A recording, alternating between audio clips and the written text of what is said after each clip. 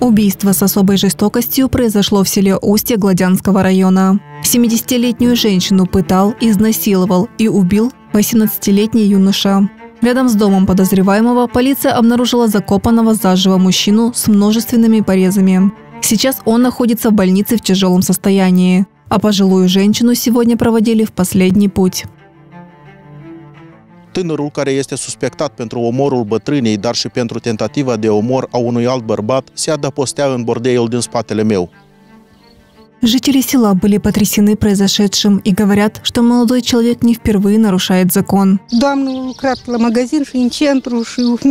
treabă. Are mulți ani, e mai din care 50 de ani când lucrează la magazin. Probleme cu dânsa, nu știu dacă au mai avut cineva, că e o femeie tare umănoasă. Copii n-are, bărbatul decedat mai de mult, o femeie singură. făcut probleme bune el. El prin casă la oameni s-a vărât, a luat, a dat foc la, aici la o femeie nu departe. Dar doar ferește să mă știi careva că eu am spus că el poate să mă uși în acasă. Eu vorbesc cu dat în tot din treaba asta, lumea se teme.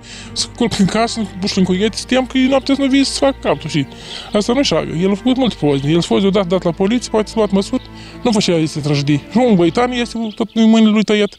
Steam în spital în reanimație. Pentru noi, da. Pentru noi e mare tragedie. De-am titeni să ieși noaptea în sat. Din Prișna la un băiet rău. Nici nu ne-am așteptat noi, așa un sat de gospodari, să, să ajungă cu așa crimă și cu așa rău în satul nostru. Ustea. Un sat frumos și plin de gospodari. Tragedie foarte mare, nu că mare, dar foarte mare. Și în final mă gândesc că și făptașul pus la răspundere și să iei măsurile cuvenite.